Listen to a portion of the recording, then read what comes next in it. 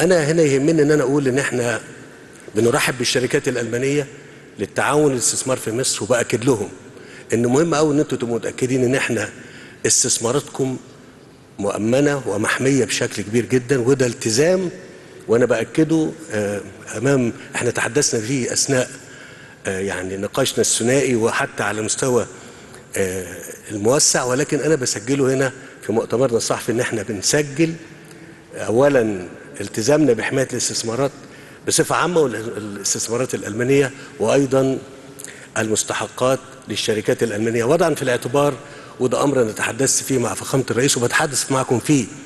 لأنه مهم قوي إن كمان الناس تعرف إن إحنا على مدى أربع سنين تعرضت مصر لأزمات ضخمة جدا جدا هي ملهاش دخل فيها. هي ما كانتش سبب فيها. ابتداء من أزمة كورونا ثم الأزمة الروسية الأوكرانية ثم الأزمة اللي موجودة حاليا بقالنا تقريبا داخلين على سنة فيما يخص قطاع غزة.